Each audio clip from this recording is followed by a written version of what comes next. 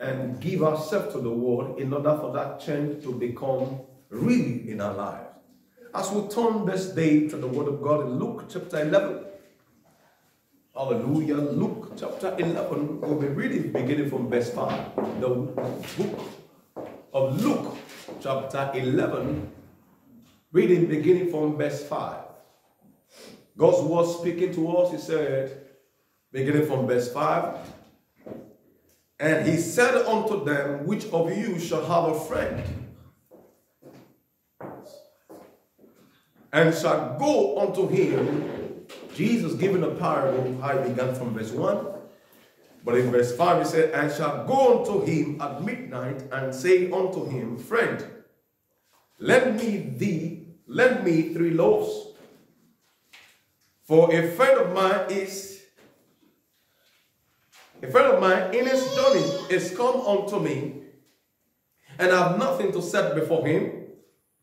And him from within shall answer and say, Trouble me not. The door is now shut, and my children are with me in bed. That's to say, my I and my children, all everyone were already in the already in bed. He said, I cannot rise and give thee.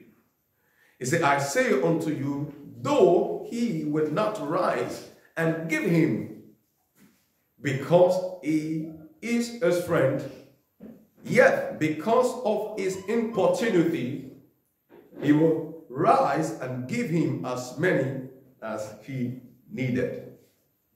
I'll be speaking today on what I title Persistently Ask. Persistently ask. Persistently ask.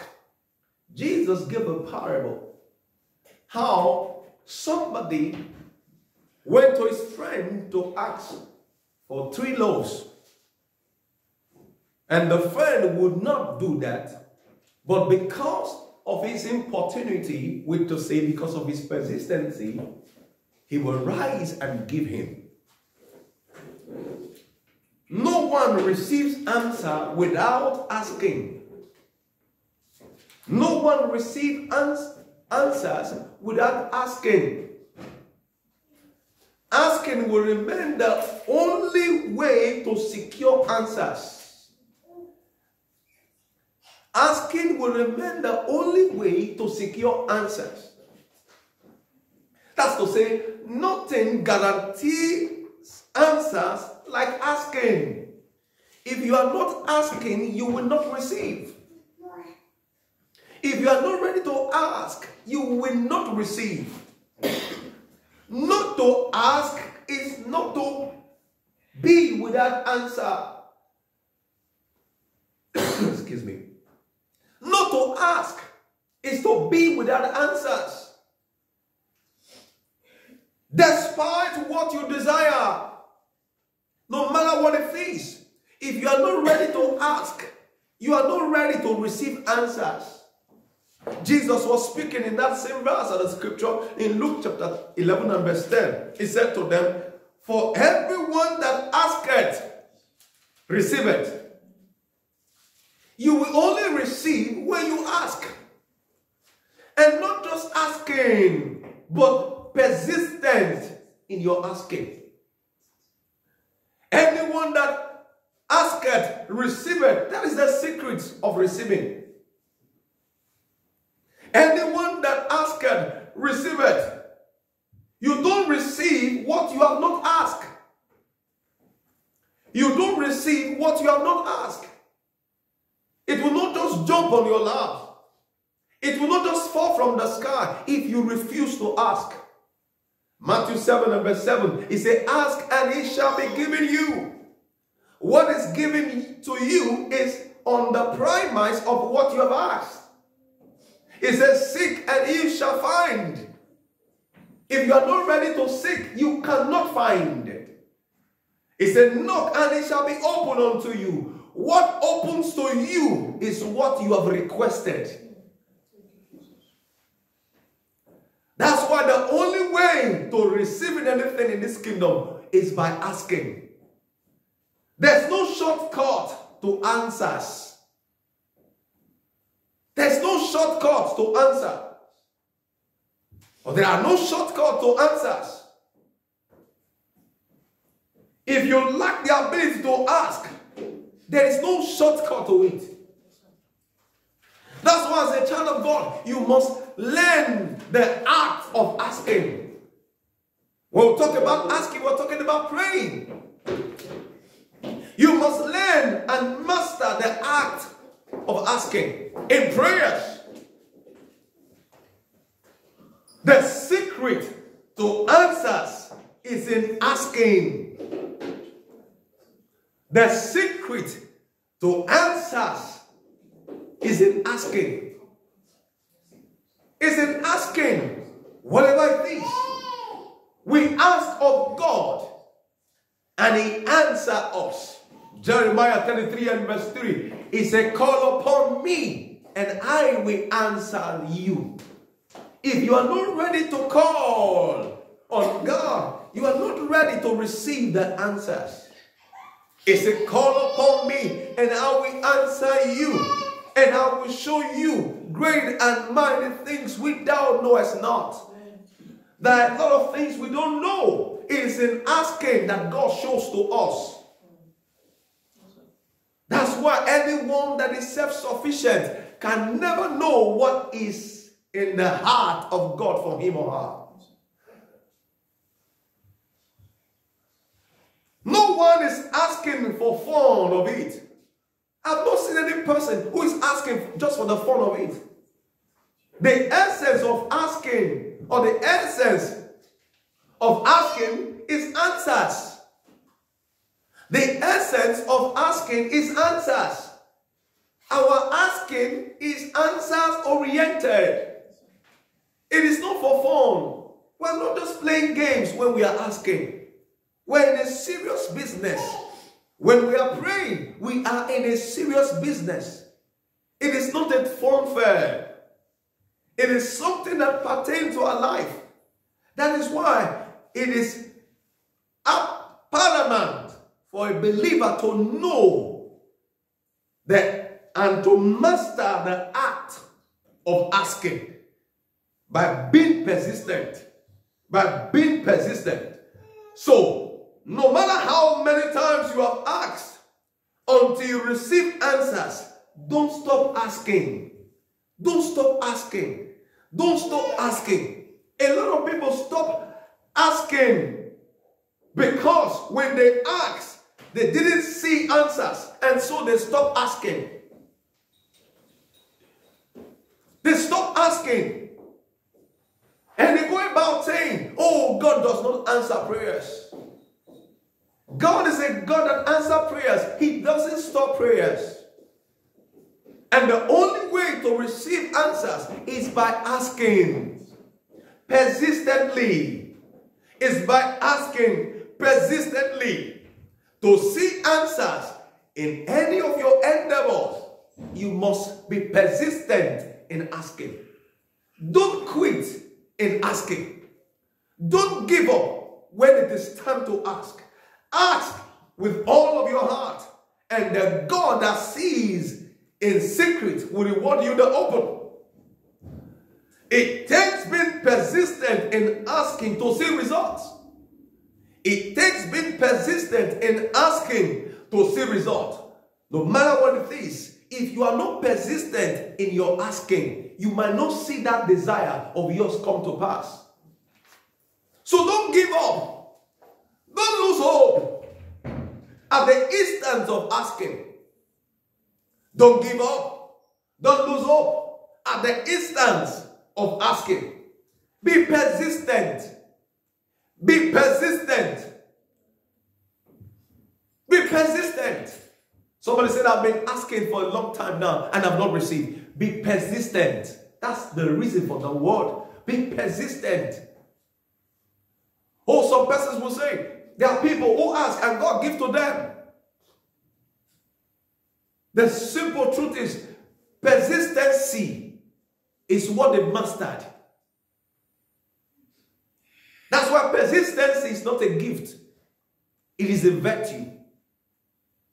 Persistency is not a gift. It is a virtue. You develop the act of asking asking persistently. You must develop the art. You must master it. You learn what it takes to be persistent in your prayer. You learn what it takes to be persistent in asking. You learn the art of being persistent. Jesus also said in Luke chapter 18, beginning from verse 1. Luke 18, beginning from verse 1, he said, And he spake a parable unto them to this end, that men ought always to pray and not to faint. Men always ought to pray and not to faint. It takes being matured at heart to be persistent in your prayer. Because if you are not persistent, if you don't develop or learn the act of being persistent, you will lose hope and faint. And he said to them, saying in verse 2, there was in a city a judge which feared not God, nor regarded man. And there was a widow in that city. And she said unto him, Avenge me of my adversary. And the Bible said the man would not do anything. But the woman kept coming. I love verse 4. And he would not for a while, but afterward he said within himself, Though I fear not God, nor regard man. And verse 5, Yet because this widow troubleth me, she troubleth me. That's the word to be used as persistent. She kept, she keeps coming. She's persistent in what she wants. She's not giving up of her request. And the man said, Because she troubled me, I will avenge her. Lest by her continual coming, she weary me. I'll become tired. Because I don't want, you know, for her to keep coming. Let me quickly do this, what she asked. If the woman was not persistent in what she was asking, there would not have been result. There would not have been result. So she received what she asked because she was persistent. Asking is demanding what belongs to you in Christ on the basis of scriptures. Asking is demanding what belongs to you in Christ on the basis of scriptures. Second Peter 1 and verse 3, according as his divine power has given to us all things that pertain to life and godliness. He has given to us those things. But for us to receive them, we ask to see them manifest in our life. Somebody say, God is tired of hearing my prayers. That's why I'm no longer asking. I can tell you this day, God is not tired of hearing your prayers. God loves it when you pray. God is not tired of hearing your prayers. So don't be tired of asking. God is not tired of hearing when you ask. So don't be tired of asking. Don't be tired of asking. Don't be tired of asking. Persistent asking culminate into answers. Be persistent. Be persistent in your asking. Because when you are persistent, it culminates into answers. It culminates into results. That's why until Jesus Christ come, the key to answers is in persistency. Until Jesus Christ return, the key to answers or results is in persistency. Be persistent. Be persistent. Be persistent.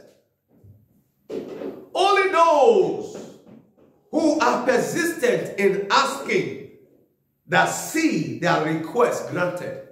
Only those. Only those who are persistent. They are the ones that will see what they request or what they ask of God granted to them. Only those who are persistent. As a child of God, be persistent. Master the art of persistency. Don't throw the towel. Don't give up at the first instant of your prayers. Be dogged when you are praying. Be dogged in asking because God hears your prayers. God hears and wants to answer you. But it will only take being persistent to see that answer come true. It will only take being persistent to see that answer come true. If you are not persistent in your approach to asking or praying, you become pessimistic. You become pessimistic. If you are not persistent in your asking, you will soon become pessimistic. You become pessimistic. Pessimistic people are never expecting possible outcome. They are never expecting possible outcome. That is why they cannot be persistent in what they do. Check it out. People who are pessimistic are never pers persistent in what they do. They give up easily. They give up because they don't have it. They've not developed it. They've not developed the, the art of being persistent and expecting something to happen good, something good to happen to them. And that is why there is no assumption. There is no assumption when it comes to asking. There is no assumption when it comes to asking. It is a conscious and a deliberate act coupled with expectation. You don't assume it. You don't assume that you are persistent. It is a conscious step. It's a deliberate act. You develop it. You learn the act of being persistent in asking. And you can't do that without the word of God. That's why you learn as you hear the word of God. It teaches you the virtue to stay on until the desired result come to pass. What am I saying? Proverbs 23 and verse 18. It said, Surely there is an end. Surely there is an end. Surely there is an end. Proverbs 23 and verse 18. And the expectation shall not be cut off. There is an end to what you are desiring. There's an end to what you seek for. There's an end to what you are asking. But until you see that there is an end, that's to say, there is a solution to that problem, you might not see it. That's why that verse says there is an end, and the expectation shall not be cut off. When you are persistent, that's when it will not be cut off. But when you are not persistent, it might be cut off. You might not see it. So learn what it takes to be persistent and see that desired result come to pass in your life.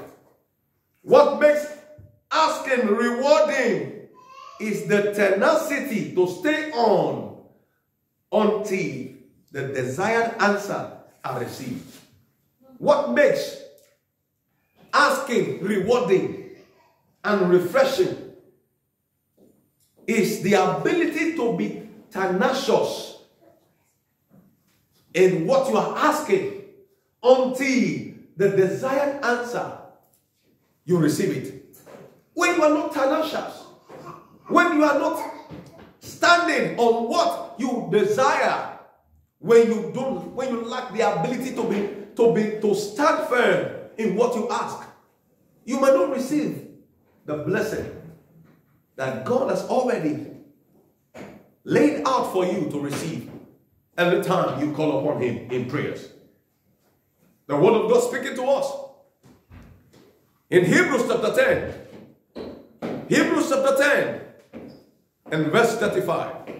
Hebrews 10 and verse 35. The Word of God speaking to us in that verse say, Cast not away thy confidence. Many have cast their confidence.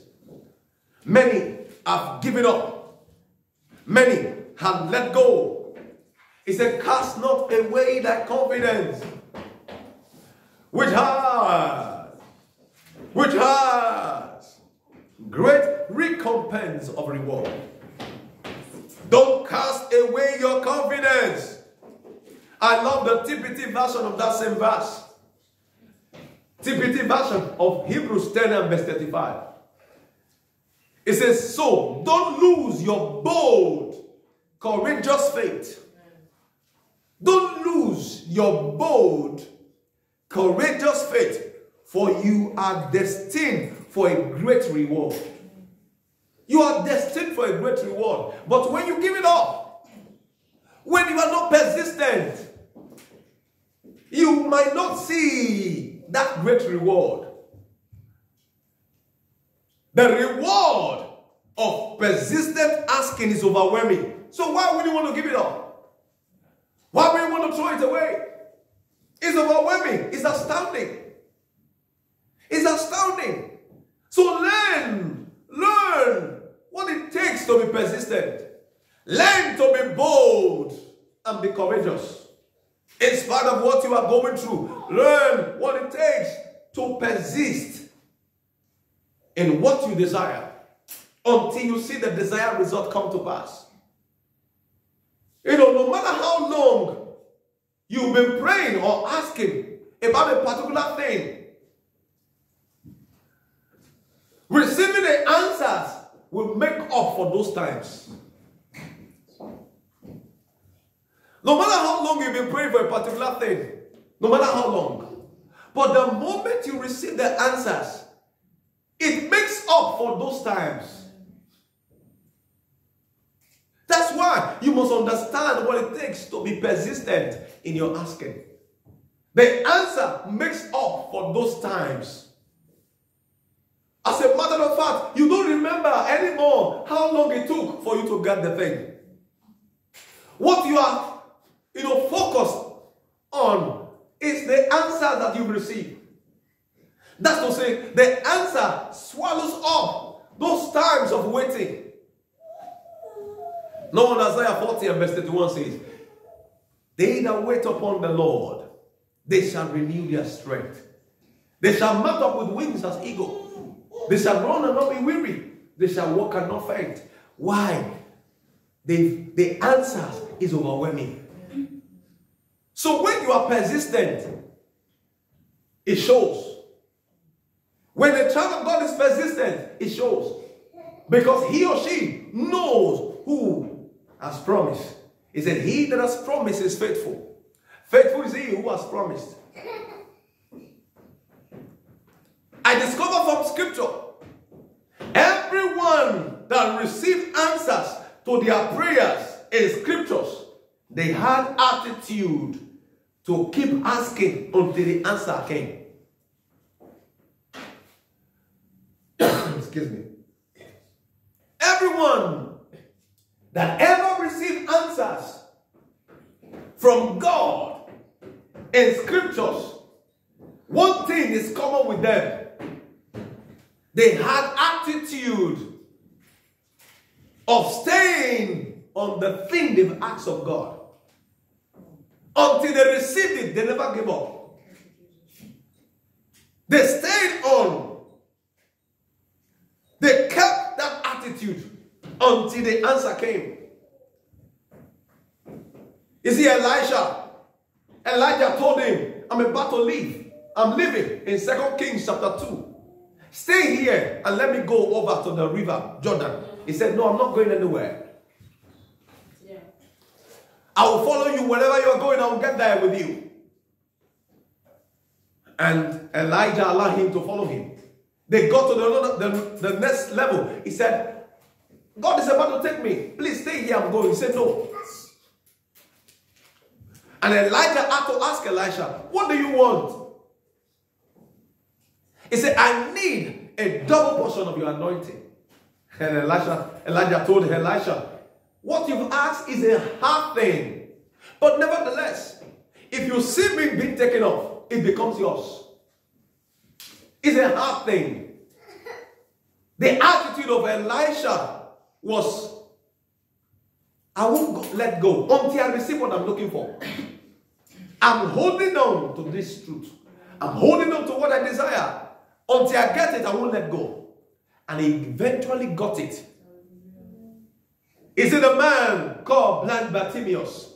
Mark chapter 10, beginning from verse 46. He heard that Jesus was passing by while he was begging on the highway. And the moment he heard that Jesus was passing by, he began to cry, Jesus, Jesus, thou son of David, have mercy on me. And the people asked him to be quiet. And he cried yet the more. He called the more. He asked the more, Jesus, thou son of David, have mercy upon me. And Jesus called him. I said, call him. And the people that him were the people that said, come, he called thee. And he came and he met Jesus. Jesus said, what do you want me to do? He said, that I may receive my sight. He received his sight because he had the attitude to keep asking until what he desired came to pass. One of the women whose daughter was possessed of demons, the Syrophoenician woman, in Mark chapter 7, beginning from verse 25 to 29. The woman came to Jesus, pleading Jesus to cast away the demon that was in the child, in her daughter. And Jesus said, Go. I've not come for you. I came for the for better people. I didn't come for people like you. You can't cast what belonged to children to dogs. And the woman said, Yes, master, you're right. He said, But one thing, master, the crumbs that fall from the table, the dog have access to them. Jesus said, You're right. And Jesus said to her in Mark 7 and verse 27, Mark chapter 7 and verse 27 says, But Jesus said unto her, Let the children first be filled, for it is not meet to take the children's bread and cast it to the dogs. And she answered and said unto him, Yes, Lord, yet the dog under the table eat of the children's crumbs. And he said unto her, For this saying, go thy way. The, the devil is gone out of the daughter, asking persistently until she received it. Oh, the children of Israel with Jehoshaphat as a king. When they were confronted with challenges in Second Chronicles chapter 20, beginning from verse 4. They went to God, talking to God. Lord, you said, time like this, when we ask for help, you will render help. And they told God all that God has said. And God brought answers to what they asked for. So many in the scriptures that we can find about men and women who asked persistently until they received what they desire of God. To ensure answers and asking, to ensure answers and asking persistently, what are the things? Number one, to secure answers and asking persistently. Number one, know God, know God is able and willing. You need to know that God is able and willing. Many believers don't know that God is able and willing.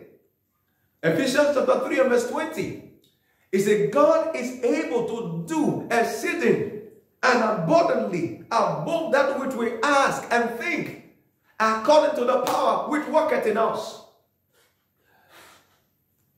Luke chapter 5 a man that was leprous came to Jesus in Luke chapter 5, beginning from verse 12. He came to Jesus and said to him in verse 12, Master, if thou wills, he fell on his face and besought him, saying, Lord, if thou will, thou can make me clean. And he put forth his hands and touched him, saying, I will be thou clean. And the man was clean. God is able and willing. That should stir your heart every time you go asking God. Is able and willing. Number two, to secure answers and asking persistently. Knowledge of what to ask. Knowledge of what to ask. Knowledge of what to ask. Many don't know what to ask. Many lack the ability to ask rightly because they lack knowledge. My people are destroyed because of lack of knowledge. Hosea. Jeremiah 15 and verse 16. He said, The word was found, and I did eat them. And the word was unto me the joy and the rejoicing of my heart. I'm called by the name. Proverbs chapter 4 and verse 20. He said, My son, attend to my words, incline to my saying, let them not depart from thy eyes. Keep them in the midst of the heart, for they are life to those who find it. The word of God is life to everyone who finds it. That's why you must have knowledge of what you are asking. Because everything you are looking for is built on God's word. Everything you desire in life is built on God's word. Everything man will ever need is in God's word. Knowing what God has said in his word concerning your need is key to receiving answers. It's key to receiving answers. Number three, scriptural backing to secure answer in asking persistently. You must have scriptural backing. That's to say, back up your request with scriptures. Isaiah chapter 43 and verse 26. The book of Isaiah chapter 43 and verse 26. Isaiah put it in this way. Isaiah 43, excuse me, and verse 26. He said, Put me in remembrance. Let us plead together. Declare that thou mayest be justified. Why will God do that thing that you are asking? Because you put him in remembrance. You are bringing forth his word to him. So that's why when you pray, it must be based on scriptures. Don't just pray because everybody's praying. Don't just ask because everybody's asking. Ask because you have scriptures backing what you are asking. Number four, through the Holy Spirit, to enjoy answer in asking permanently or persistently, it must be through the Holy Spirit. Romans chapter 8 and verse 26, it says, Likewise, the Spirit helpeth our infirmity. Well, we do not know what to ask as we ought. The Spirit makes intercession for us with groaning, which cannot be uttered. And he that searcheth the heart knoweth what is in the mind of the Spirit, because he maketh intercession for the saints according to the will of God. So when the Holy Spirit makes intercession for you, it is according to God's word and it will not be ignored. There will be answers. The Holy Spirit is our best comforter, is our partner, is there to help us. And number five, be specific in asking. Be specific. Don't be ambiguous in your asking. Ambiguity doesn't provide the answer. Many lack what it takes to be specific. They are asking all manners when there is a specific need in their life. One need is tied to others. Be specific. For Samuel, chapter 1 and verse 11, Anna was specific about what she wanted. She knew when she had this one, every other one will be taken care of. She went to God in 1 Samuel chapter 1 and verse 11. He said, in that verse, he said, and she vowed a vow and said, O Lord of hosts, if thou wilt indeed look on thy, the affliction of thy handmaid, and remember me, and not forget thy handmaid, but will give unto thy handmaid a maid child. A maid child, that's what she asked. She known having somewhere, she will have every other thing. Is it the man, blind Bartimaeus, when Jesus asked him, What do you want? I want my sight. Be specific. Don't say, I need this. I need this. Oh, what do you need now? What do you need? Hallelujah. Amen. To ensure answers and asking persistently, ask in the name of Jesus Christ. Ask in the name of Jesus. Many don't know what it takes to ask in the name of Jesus. They ask for the sake of Jesus. We don't end our prayer as a tradition when we say in the name of Jesus. The name of Jesus is a seal to our prayers. It is the signature that heaven recognizes. That is why you must learn the act of asking in the name of Jesus in order to receive answers. If you've been asking for the name of Jesus, you will never get answers. It must be in the name of Jesus, which is the signature of heaven. Jesus was speaking in John 14 and verse 14. John chapter 14 and verse 14. He said in conclusion, if you shall ask anything in my name, I will do it. In my name. It is for my name or for my name's sake. In my name, I will do it. That's why you must learn what it takes to know what it takes to act and be persistent in your asking. Somebody be on your feet. Talk to Jesus. Lord, help me to act persistently in my quest or in my desire for a change. Help me to ask persistently. Lord, help me to be specific. Help me to know that you are able and willing. Lord, as I acquire knowledge, Lord, help me in the name of Jesus. I will not miss it. Oh, somebody hearing the sound of my voice on the internet. You need to know that what it takes to ask persistently. And that's what we've shared. Lord, help me to ask rightly. Help me to know what it takes to ask, to receive my answers in the name of Jesus Christ. Thank you, precious Father, in the name of Jesus Christ.